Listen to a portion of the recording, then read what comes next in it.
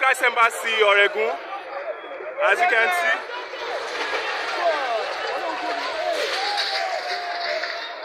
Ṣé kò sáwọn èèyàn ní church? Ṣé people no dey inside church ṣá?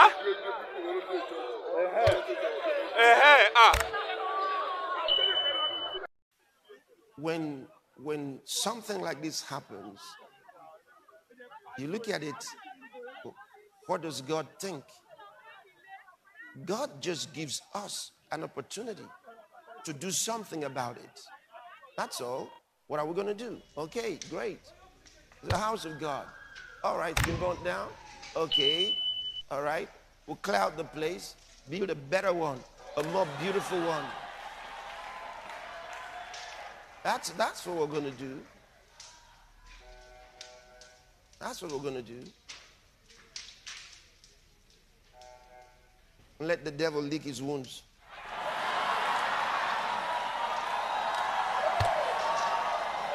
Yeah? That's it. Because we, we must look at life from the spiritual. This is not what you call an accident. No. Because we are not ordinary people. We are helped all the time. He told us even when even when you walk, he says, "Don't worry. You wouldn't even dash your foot against a stone." Why?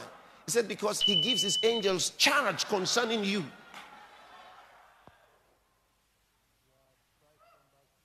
So everything that happens in your life is on plan.